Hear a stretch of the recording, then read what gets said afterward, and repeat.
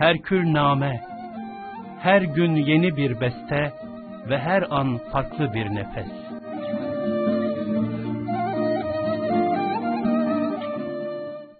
Muhterem efendim, öğretmenlik gibi ev dışında belli bir mesai gerektiren mesleklerde özellikle bayanların vazife ile aile arasında kalıp sıkıntılar yaşadıkları ifade ediliyor. Hem neslin rehber ihtiyacı, hem rehberlerin her türlü hakkı eda gayretlerinin onlara kazandıracakları ve hem de eşlerinin, çocuklarının onlara karşı tavırları açısından meseleyi değerlendirir misiniz? Hazreti Piri Mugan bir yerde mesainin tanzimi, amalin taksimi diyor, taavün düsturunun da teshili diyor, birbirine yardımcı olmak. Meseleye daha farklı bir zaviyeden, daha geniş alanda olarak bakıyor ve meseleyi öyle takdim ediyor. Mesainin tanzim edilmesi, yani iyi bir iş bölümünün yapılması, kim ne yapacak, bunun bilinmesi. Böyle olunca insanlar kesbi mümarese ederler. Kim ne yapacak? Hep onu yapa yapa acemiliği atlatır, artık o mevzuda usta olur. Arızasız, kusursuz yapmaya çalışır. Nazari bilgi ile hemen en mükemmeli sergilemek, ortaya koymak çok zordur. Ameliyle ancak işliye işliye o tabiatın bir derinliği haline gelir ve sonra artık insan onu düşünmeden iç dürtülerle, iç tembihlerle, iç harekete geçirmelerle hemen yerine getirir. Değişik vesileyle ifade edildiği gibi yani taakkulatınızdan olumsuz bir şey, akli gibi geçti. Tasavvuratınızdan tasavvuri gibi böyle olumsuz bir şey geçti, negatif bir şey geçti. Tahayyülatınızdan olumsuz bir şey geçti. Siz o mevzuda hiç düşünmeden hemen işte bir sistem, bir mekanizma harekete geçerek, geçerek hemen birdenbire dilinizden estağfurullah kelimesinin döküldüğüne şahit olursunuz. Tabiata mal olur bu. Öbürü düşünerek olunca unutabilirsiniz. Fakat tabiatınızın bir yanı, bir derinliği haline gelince aklınızdan geçen olumsuz şeyler karşısında bile olumsuz şeylerin rüyasını gördüğünüz zaman bile şu olumsuz şeyi yapsam mı yapmasam mı tereddütü yaşadığınız anda bile hemen o iç tepki böyle vicdanın tepkisi, kalbin tepkisi, kalbi hayatın, ruhi hayatın, sırrı hayatın tepkisi hemen dilinizde estağfurullah halinde ve etubu iley, estağfurullah ve etubu iley. İnsanlığın iftihar tablosu akrabül mukarrebinden olması itibariyle ihtimal tahayyülünün de ötesinde onun tahayyülüne bile o türlü şeylerin bulaştığına ihtimal vermek doğru değil. Tahayyül ötesi veya tahayyül berisi şeyler. Hangisi daha uygunsa siz onu takdir edin. Gelip oraya tosladığı zaman bazen bir mecliste 70 defa estağfurullah diyor. Herhalde biz bir tek defa estağfurullah değil, elf, es, elf estağfurullah dememiz lazım. Allah'ın bin bin kesretten kinaye bir milyon estağfurullah. Neye estağfurullah? Şu Müslümanı hafif görmeye estağfurullah. Şunlar bizim aleyhimizde mülazasına elf elf estağfurullah aklından geçtiyse değil birine konuşmak, değil o mevzuda bir kısım tedabire başvurmak, değil tahrik edip bir kısım kimseler harekete geçirmek, değil bir kısım kimselerin kafalarını bozmak, değil bir kısım kimselerin onu kaleme döküp köşe yazılarında değerlendirmelerini sağlamak, aklının köşesinden geçtiği zaman imanın varsa şayet, ruhunu kirleten o şey karşısında tabii bir tepkiyle, kalbi ve ruhi hayatın gereği olarak hemen estağfurullah'ı yapıştıracaksın. Daha o düşünce esas kendisini tamamlamadan sen tas tamam bir estağfurullah'la balyoz gibi başına inecek ve onu ezeceksin. Mesai tanzim edilememişse, mesela bu içtimai hayatta vazifeli insanlar aralarında mesai, diyelim hükümet işte bakanlıklar mesai tanzim edilmişse, vilayette mesai tanzim edilmişse, emniyette mesai tanzim edilmişse, çok defa arızasız yürür Allah'ın izni inayetiyle. Çünkü orada mümareseler ön planda nazar itibarı alınır ve mesele mümareseler blokajı üzerine bina edilir. Öyle bir mesai tanzim edilmesinde mümarese bir yönüyle belki o işin hem blokajı hem de aynı zamanda statiğidir. Allah'ın izni inayetiyle gün gelir, çok sarsıcı şeyler karşısında bile sarsılmadan o meseleyi yürütürler. Herkes ne yapacağını çok iyi bilmesi lazım. Daha dar daireye geldiğiniz zaman diyelim bir aile içinde bu mesele. Hanımefendi ne yapacak? Beyefendi ne yapacak? Bunlar yapacakları şeyleri çok iyi belirlerlerse zannediyorum. Yapacakları şeylerin üstünde çok daha önemli şeyler başarabilirler. Evdeki işi yapmanın yanı başında hanımefendi, çocuklarına bakmanın yanı başında, beyini memnun etmenin yanı başında, aynı zamanda bir yerde bir vazife görüyorsa, muallimlik yapıyorsa, üniversitede hocalık yapıyorsa, avukatlık yapıyorsa, bir adliyede hakimlik yapıyorsa veya başka bir yerde önemli, daha önemli vazifesi varsa, mesai iyi tanzim edildiği zaman da arızasız ve kusursuz bunu yapabilir. Fakat onu iyi tanzim edilmesi lazım. Ne zaman neyi yapacak? Bu iş bölümü itibariyle mesai tanzimi diyoruz. Beyefendiye düşen şeyler onlar çok iyi belirlenirse, varsa evde başka iş yapacak insanlar, onlara da o iş çok iyi yüklenirse şayet, onlar sorumlu tutulurlarsa veya günümüzde olduğu gibi kreşlere, mekteplere çocuklar, yatılı yurtlara konursa, böylece zannediyorum iş daha ahenkli götürülür. Meselenin bir yanı bu, mesainin tanzimi. Bu derda cephe ise cephede, irşatsa irşatta, gece eve döndüğüne de sabaha kadar namaz kılıyor. Ve Selman-ı Faris de aralarında bir manevi kardeşlik teessüs etmiş. Hani Medine-i Münevvere'ye ilk muhacirini kiram efendilerimiz teşrif ettiklerinde muhacirle ansarı Efendimiz sallallahu aleyhi ve sellem kardeş yapıyor. Öyle bir kardeşlik. Evine gidiyor bir gün. Hanımı böyle kendisini salmış onun. Herhalde kati o tesettür şey herhalde yasak edilmediği bir dönem olması lazım ki kati bir şey diyemeyeceğim çünkü hadiste de öyle bir şey demiyor. Böyle saçı başı dağınık, perişan, kendini salmış gibi görüyor. Ne bu hal diyor böyle sende? Vallahi diyor senin kardeşin diyor. Hiç bu evle alakası yok yani. Bir eşi var mı yok mu diyor. Gündüz bilmem nerede dolaşıyor. Gece de geliyor böyle sabaha kadar namaz kılıyor burada. Böyle Efendimiz'e tam iktida etmiş. Ayakları şişinceye kadar şişmeden yatarsam ben namazın hukukuna tecavüz etmişim herhalde. Böyle Ebu Derda bu. Selman-ı Farisi de malum Anadolu insanı esasen. Onlar Faris diyorlar. Arap olmayan herkese öyle. Acem, Fürs diyorlar. Sivrihisar'dan gittiği söylenir. Satılmış, köle olmuş, fiyata kavuşmuş ama fakat nadide, güzide, önde gelen sahabilerden biri olmuş. Evet. Efendimiz sallallahu aleyhi ve sellem'i de iyi tanıyanlardan birisi olmuş. Ve biraz sonra da Ebu Derda geliyor eve. Tabi gelince namaza duracak orada yine hiç. Hayatını boş geçirmemek, böyle santimini boş geçirmemek. Zamanın zerresini israf etmemek. Her şeyi böyle paket paket meziyet, fazilet, ibadet, taat şeklinde en güzel ambalajlarla, ihlas ambalajlarıyla ambalajlayarak Cenab-ı Hakk'a sunmak. Derdi onun o geliyor.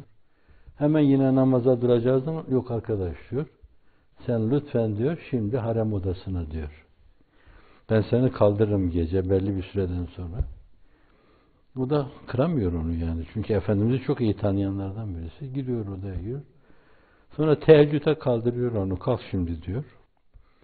Ondan sonra hep oruç tutuyor. Yani her gün oruç. E, o da yine o yuvada bir yönüyle yani biz olsak ifrat diyebiliriz ona. Fakat o mevzu derinliğini öyle anlıyor o zat. Ölü olunca mükemmel olacak. Ekmeltü etmemtüyü bir yönüyle öyle yorumluyor o. El yevme ekmeltü lekum dinekum ve etmemtü aleykum öyle anlıyor. Ve radîtü lekumul İslam dine. Rıza ancak o sayede olacağına inanıyor. Öyle anlıyor o meseleyi. Hayır diyor, bir gün yiyeceksin, en fazla yani. Bir gün oruç tutacaksın, Davud orucu, Hazreti Davud orucu, bir gün yiyeceksin. Bir gün oruç tutacaksın diyor. Tadil ediyor onu. Ailenin hukuku adına uyarıyor onu. Aslında o da gelip şeye Efendimiz sallallahu aleyhi ve selleme meseleye arz ediyor. Efendimiz sallallahu aleyhi ve sellem burada buyuruyor. Lalü güher sözleriyle inne li nefsike aleyke hakkan nefsinin senin üzerinde hakkı vardır. İnne lillahi aleyke hakkan ve inne li ehlike aleyke hakkan faati kulle zi hakkin hakkahu. Allah'ın senin üzerinde belki sırasını şey maksattım. Allah'ın senin üzerinde bir hakkı vardır. Nefsinin de bir hakkı vardır. Ailenin de bir hakkı vardır. Her hak sahibinin hakkını ver diyor Efendimiz sallallahu aleyhi ve sellem. Selman-ı Farisi kapıyı aralıyor. Allah Resulü sallallahu aleyhi ve sellem meselenin kafiyesini koyuyor. Kafiye konduktan sonra artık fikir beyan edilmez. Bitmiştir o mesele. Son noktayı koyuyor. Şimdi aile hukukuna riayet açısından, onları görme, gözetme açısından, ihmal etmeme açısından bir yönüyle işte burada birbirine destek olma, baş başa verme, yardımlaşma düsturunun tesili, taavün düsturunun tesili diyor. Yerinde ona yardım edecek, o da ona yardım edecek. Belki bu temel ahlak yani toplum çapında da, içtimai hayatta da böyle, aile yapısında, toplumun molekülü sayılan aile yapısında da böyle. O düstur işletildiği zaman işler daha kolay işler hale gelecek bir yönüyle. O ona omuz verecek, o da ona omuz verecek. O bir kısım onun mihnetini, meşakkatini çekecek. O da onunkini. Efendim nasıl diyordu şey sustum. Mihneti kendine marifet bilmektir alemde hüner. Gamuşadı felek böyle gelmiş böyle gider. Endevni vasıf. O biraz aşkmaş şair ama bu türlü güzel şeyler de söylüyor. Gamuşadı felek böyle gelmiş böyle gider diyecek. Bazı şeyleri de paylaşacaklar. Böyle olmuş. Bu mesele hep şimdiye kadar böyle oldu. Böyle gider falan diyerek birbirlerini teselli edecek. En azından hadisenin çok tesiri yaşandığı dönemde onu atlatmasına bakacak. Ondan sonra o esbabı güzin diyeyim ben. O mübarek sebepleri sıraladığı zaman ya ne kadar isabetliymiş falan diyecek. O başka. Es-sabru inde sadmetil ule Efendimiz buyuruyor.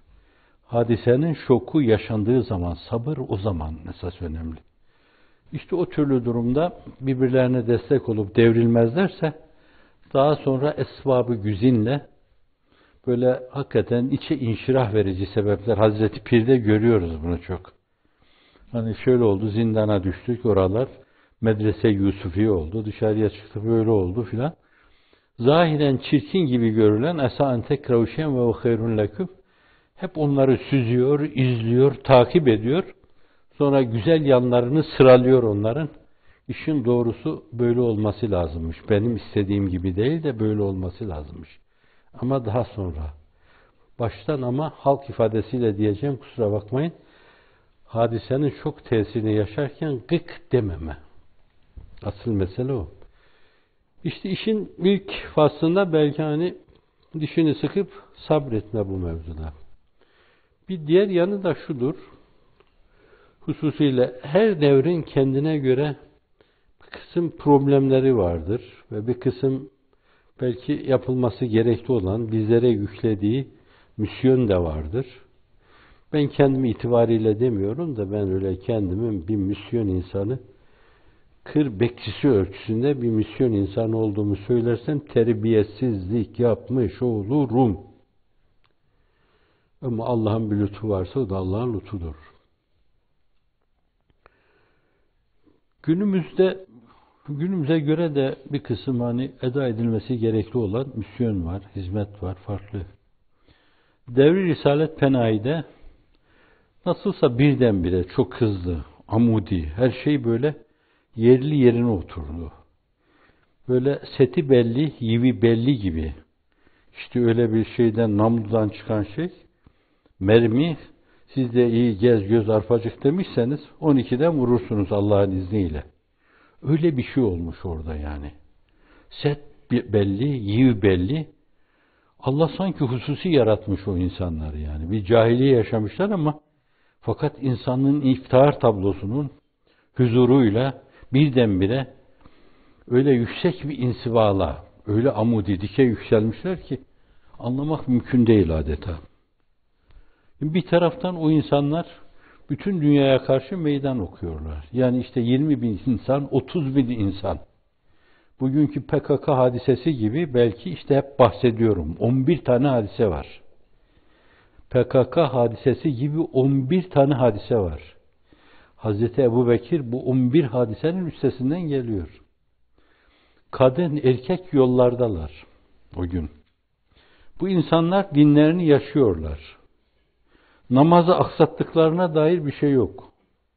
Belki o katsiyede de görmüşsünüz. Müslümanlar saf bağlamış namaz kılıyorlar. Cephe karşı tarafta düşman saf bağlamış duruyor. Kur'an-ı Kerim'de ifade buyuruyor. Ve izâ kunte fîhim fe akamte lehumus salate feltakum taifetun diyor yani. Düşman karşısında dahi namazı kaçırmamak için bir kesim, bir kısım burada gelecek, namaz kılacak bir rekat. Onlar düşman karşısına gidecek. Öbürleri gelecek bir rekat kılacaklar. Sonra onlar öbürlerini tek başına ikame kılacaklar. Öbürleri onu seferi gibi iki rekat namaz kılacaklar ama bir sürü hareketle iki rekat. Kur'an-ı Kerim detayıyla anlatıyor bunu. Bu hadis-i şerifler meseleye haşiye düşüyor, şerh düşüyor. İşte öyle namaz kılıyorlar. Pers orduları karşısında Sa'd ibn Ebi Vakkas'ın ordusu namaz kılıyor orada. Ne yapıyor bunlar böyle? Namaz kılıyorlar. Allah Allah. Cephede bu adamlar umurlarında değil düşman namaz kılıyorlar. Orada bile namazı kaçırmıyor. Ama bir yerde işte onların mevzilenmiş, tabiyelenmiş, düşmanın taarruzuna meydan vermeyecek şekilde insanlar var. Orada belki çok taife-i nisa da var. Çünkü Sa'd ibn Ebi Vakkas'ın eşi de mübarek validemiz de yanında orada. Lojistik yardımda bulunuyorlar. O tabiyelerde onlara nasıl böyle imdat medet resan oluyorlar. O gün o mesele öyle o zorluk içinde cereyan ediyor. O günün şartları öyle. Değişik vesilelerle arz ettiğim gibi yine sonradan Müslüman olup fakat dike yükselenlerden bir tanesi işte Ebu Süfyan'ın şey hanımı Hint malum. Seyyidina Hazreti Hamza'nın şehadetine de sebebiyet veren, vahşi ile sebebiyet veren birisi. Fakat amudu yükselme yani. Vahşide de bir amudu yükselme var. Belki o sapladığı o mızrak yani beynine saplanmış gibi oluyor. Ve onun ızdırabıyla böyle kaç defa Bilal-i Habeşi'ye müracaat ediyor. Çünkü ikisi de zenci. O zencilere kurban olayım ben. Müseyleme'nin bağrına mızrağını sapladığı zaman kendi kendine konuşuyor. Ya Resulallah huzuruna çıkabilir miyim? O zaman artık ya Resulallah yoktur. Çıkabilir miyim?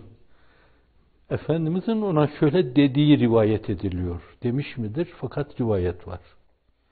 Hazreti Hamza'yı şehadetinden dolayı bana sık görünme. Hatırlar sana karşı gönül korum diyor. Çünkü hep süt kardeşi, hem amcası, hem Esedullah fissema. Göklerde Allah'ın aslanı. Hamza'yı ben tartamam. Ahiretteki mizanda bile zannediyorum onu tartsalar mizan kırılır. Hamza.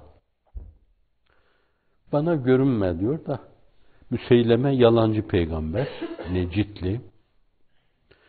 O mızrağı Hazreti Hamza'nın bağrına sapladığı mızrak.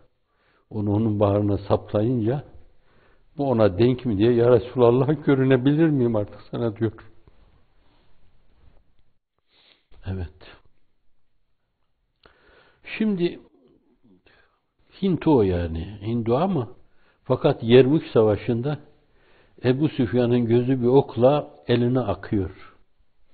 Öyle diyor Siyer. Aldı baktı baktı böyle dedi. Neye yararsın ki senelerce peygamberini tanımadın? Ve bir tarafa fırlattı, bir taş gibi fırlatıverdi gözünü.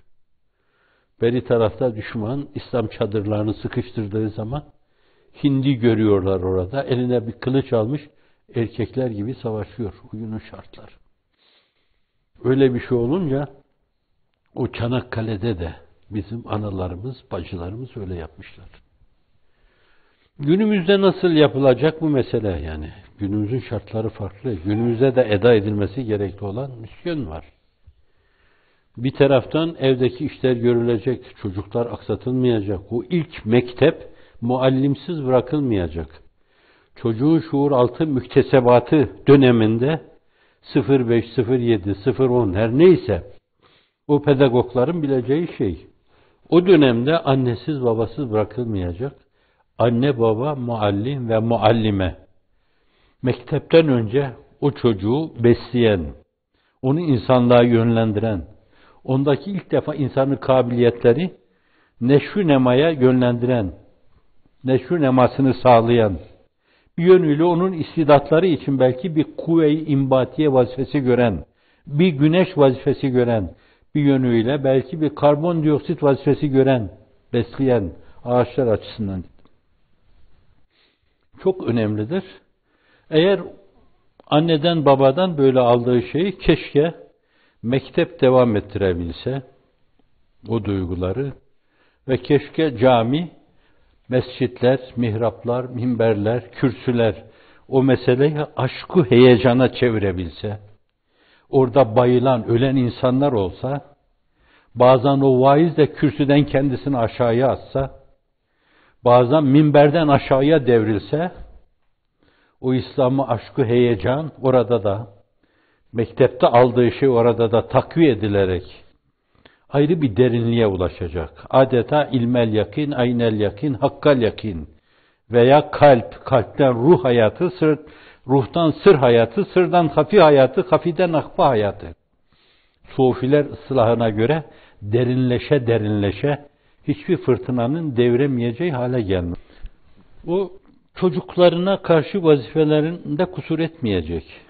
Ama kendi yapamıyorsa onu şayet işte bir yönüyle kendi düşünce çizgisinde olan, onun gibi düşünen insanların kreşlerine koyacak. O ruh ve mana köklerimize bağlı eğitimin verildiği yerlere koyacak. Geçmişinden kopmayacak şekilde ve geleceğe de açık şekilde onu yetiştirebilecek ellere teslim edecek. Kreş de olabilir, yurt da olabilir, pansiyon da olabilir, evde olabilir, okulda olabilir bu. Buna göre. Bey de ona göre ayrı bir vazife yüklenecek. Bu arada hani çok defa belki işte biraz evvel dedim muallimlik vazifesi yapıyorlardır. Belki hakimdirler. Belki daha başka yerlerde, hayati yerlerde çalışıyorlardır. Belki belli bir dönem itibariyle bunların hayatları, hareket alanları böyle daraltılmış, kısılmış, ve aynı zamanda bununla da bir kısım feministlere koz verilmiş. Kadın hakları yeniyor, çiğneniyor gibi falan denmiş. Kendi kriterlerimiz, kendi ölçülerimiz, kendi değerlerimiz bunlara bağlı kalmanın yanı başında hayatın her alanında onların da yapacakları dünya kadar şey vardır. Çünkü o bacılarımız, analarımız evet kabul ederlerse ben onlar için bacılarımız diyeyim. Çünkü yaşım itibariyle öyle benim yaşım aşkın çok az vardır. Onlara Hazreti Piri Mugan Şem İtaban şefkat kahramanı diyor. Burada istidradi bir şey arz edeyim. Erkek arkadaşlardan da var öyle güzel rüyalar ve yakazeten. Bazen Efendimiz'i, bazen Hazreti Ebu Bekir'i, bazen Hazreti Ömer'i. Ben şimdiye kadar belki yüzlerce desem mübalağa yapmış olmam bu türlü müşahedeler, bu türlü görmeleri ifade eden mektuplar. Kıtmire de bildiriyorlar. İhtimal onlar kendiler benim o durumda olduğumu düşünmeseler bile vicdanlarının sevki, sevkiyle benim o durumda olduğum vurgulanıyor. Benim öyle bir takviye ihtiyacım var. Ve her defasında onu duyunca kendi kendime diyorum ki Efendimiz böyle onların yanında olduğuna göre Demek ki iyi yolda görünüyor. Demek ki bizimle beraber, demek ki bizi bırakmıyor. Bazen Raşid halifeleri görüyorlar. Bazen büyük velileri, Şahi Geylani'yi, Hasan Şazeli'yi, bazen Hazreti Piri Mugan'ı, Şemi Taban'ı görüyorlar. Yazıyorlar. Ben de arkadaşlarıma yakında da söyledim. İmkanı varsa bunu o çetin, o ifritten alanlarda çalışanlara okuyun. Çizgilerinin doğru olduğunu onlar duysunlar esasen. İyi yoldayız diye. İnsanlığın iftihar tablosu tebrik ediyor gibi saflağınız arasında dolaşıyor. İyi yoldasınız, yürüyün diyor size. Fakat bu arada yani 20 tane taife-i ricalden, taife tabiri, tayfa mı diyelim? 20 tane geliyorsa şayet 200 tane taife-i nisadan geliyor. Demek ki çok hassas, çok yumuşak, bir de şefkat abidelisi olmaları itibariyle neye binaen? E o çocuklara belli bir dönemde onun hammallığını yapıp taşıma, özür dilerim, bağışlasınlar onlar da. Bir dönemde kucağında taşıma, uykusunu bölme onlar için, onun sesini kesme için çırpınıp durma, onun için ölüp ölüp dirilme, işte bunun için çok ciddi, çok derin, katiyen ters edilmez bir şefkate ihtiyaç vardır. Şimdi Hazreti Pir'in şefkat kahramanı demesi boşuna değil yani. Allah onları bile şefkat kahramanı olarak yaratmış. Dolayısıyla işte o şefkatin bir farklı tezahürü de bir kısım şeyler karşısında çabuk müteessir olma, duyarlı olma, hassas olma, bir kısım meselelere karşı açık bulunma. Bundan dolayı birilerinden 20 tane geliyorsa onlardan da 200 tane geliyor yani. Evet. Şimdi hizmet etme yani hizmet ediyorlar Allah'ın izni inayetiyle. Bir taraftan çocuğuna bakıyor, bir taraftan beyiyle o yuvadaki sıkıntılar paylaşılıyor. Orada iş bölümü yapılıyor. Arızasız o işler götürülüyor. Bir diğer taraftan da evlerde bir araya gelme, sohbeti canında bulunma aksatmıyor onu. Dersini de aksatmıyor. Birine bir şey anlatma, onu da aksatmıyor. Birine bir şey anlatma, onu da aksatmıyor. Sözü şuraya getirebiliriz yani. Şimdi Şimdi vazifesini bu şekilde yapıyorsa mesai tanzimi, amal taksimi, taavün düsturunun tesili çerçevesinde bu ölçüde yapıyorsa bir dönemde Hint gibi sultanlar düşmana karşı kılıcını çekip böyle savaştığı gibi sanki günümüzde bu hizmeti böyle görenler de onlarla at başı gidiyorlar demektir yani. O gün o taife-i nisa nasıl o erkeklerin bir kısım işlerini, hizmetlerini görüyorlar. Arkadan destek oluyor. Onlara moral veriyorlar. Belki yemeklerini yapıyorlar. Çamaşırlarını yıkıyorlar. Cepheden cepheye koşan o insanlara destek oluyor. Destek oluyor. Moral oluyorlardı. Günümüzde de günümüzün şartlarına göre bugünün gerektirdiği işleri yaparken aynı şeyi yapan o bacılarımız zannediyorum onlarla at başı vazifeyi, hizmeti götürmüş oluyorlardır. Allahu alem. Günümüzde batıda yuva yıkılmaya başladı. Bizde de yıkılmaya yüz tuttu yuva. Oysa ki çok önemlidir. Biraz evvel dedim sosyal hayatın molekülüdür yani. O Fert sağlamsa yuva sağlamdır. Yuva sağlamsa toplumda sağlamdır. Fert planında, yuva planında esas kaybetmiş bir toplumun heyeti içtimaiyesinin istikamet içinde doğru, düzenli olması düşünülemez. Kanunlarla, nizamlarla, baskılarla, müeyyidelerle izaya getirebilirseniz öyle bir toplumu öyle izaya getirebilirsiniz. Ve onda da çok patlamalar olur, infilaklar olur, inşikaklar olur. Çok yerinde bir şey olmaz. Ama insan, insanoğlu insanla uyanmışsa esas ahseni takvime masariyetinin farkına varmışsa zat-ı üluhiyetin mahiyetine derc ettiği genler gibi yani adeta inkişaf edip meleklerin önüne geçmeye müsait o donanımını inkişaf ettirmişse bence öyle bir toplumda problem çok az olur. Müslümanca yaşanan dönemlerde bir Ebu Bekir döneminde, Ömer döneminde, Osman döneminde, hususiyle Sadri evvelinde o toplumda çok fazla problem yoktu. Hedefli bir toplumdu. Ne yapacaklarını biliyorlardı. Güzergah belliydi. Ve herkes o yolda yürüyordu. Ondan sonra belki izafi ve nisbi olarak Emevilerde de olmuştur. Hepsini diyemem yani. Abdülmelik'i diyemem, Yezid'i diyemem bunu. Fakat onlarda da çok önemli şeyler olmuş. Hususiyle Ömer bin Abdülaziz dönemi onu o Raşid halifelerin beşincisi sayarlar. Ve belli bir dönemde Endülüs'e gitmişler. Ve sekiz asır kadar orada Batı Rönesansı'nı esas teşkil edebilecek şeyler yapmışlar. Onlarda da böyle güzellikler olmuş. Abbasiler döneminde de olmuş. Osmanlılar döneminde de olmuş. Yani güzel durumlar takdirle yad edebileceğimiz durumlar olmuş. Görmezlikten gelmemek lazım. Nankörlük olur o. Yani nimeti görmemezlik demek olur. Fers sağlam olunca aile, molekül o da sağlam olur. Sonra toplum öyle moleküller teşkil ediyorsa o da sağlam olur. Öyle bir toplumda problem olmaz çok. Olsa bile çok az olur. Onun için değişik vesilelerle hep ifade ediliyor. Kim ifade ederse etsin. Kitmir bile ifade etse ifade ediliyor demektir bu. Devleti Aliye'nin hususiyle ilk dört asrında cereyan eden kötü hadiselerin, menfi hadiselerin bütünü şimdi Türkiye'de bir ayda cereyan ediyor.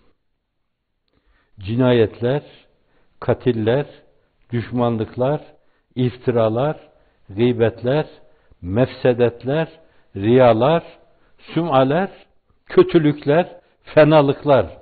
Adeta her taraf böyle fenalık kokuyor. Bu da toplumun çürümüş olmasını gösteriyor.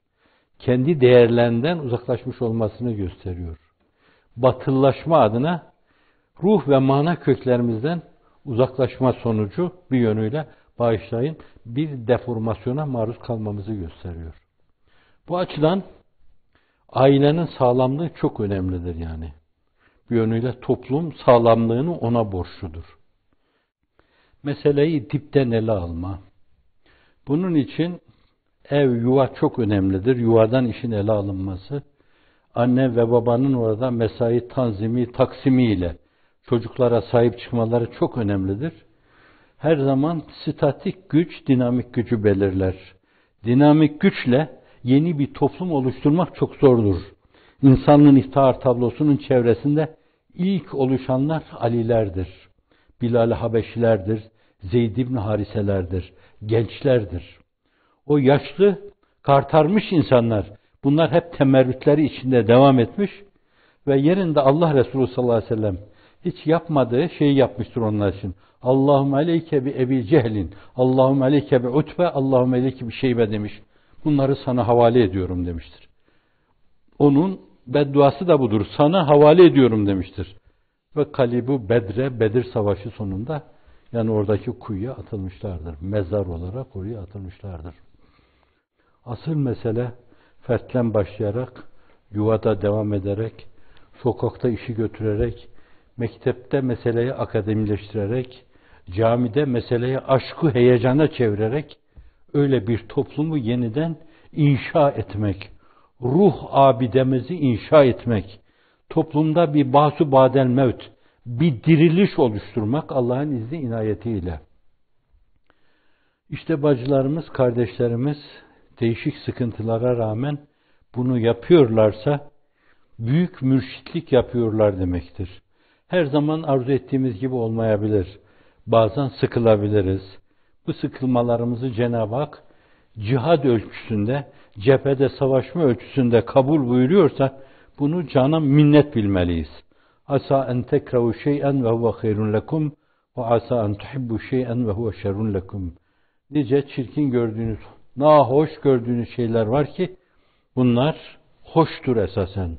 Ve nice hoş gördüğünüz şeyler de vardır ki bunlardan nahoştur diyor Kur'an-ı Kerim. Kadınıyla, erkeğiyle Cenab-ı Hak sizi, bizi, hepimizi ruhumuzun abidesini ikame etme istikametinde hayırlı hizmetlerde muvaffak eylesin inşallah. Dengeli bir hayat yaşamaya, yuvadaki hukuka riayet etmeye muvaffak eylesin. Bazılarımız belki hala o durumda değiliz. Ölü olanlar, Hakkullah çok önemli. Kendi hissimi de ifade edeyim ben. Öyle elimde olsa benim eşine karşı sert davranan böyle, haşin davranan insanlar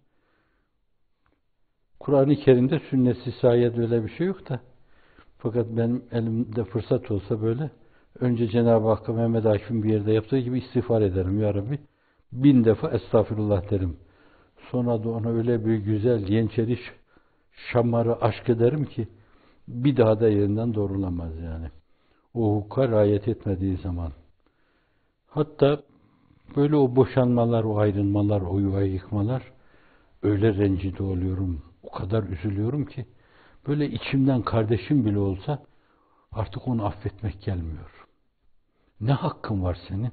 O yapıyı dağıtıyorsun diye. Bilmem ki bunu yeriden böyle daneleri kopmuş, ipten boşalmış, tesbih taneleri gibi saçılmış o toplumun parçacıklarını bir araya getirmek mümkün olacak mıdır? Dua edelim olsun. Allah bizi yeniden ihya eylesin ve selam.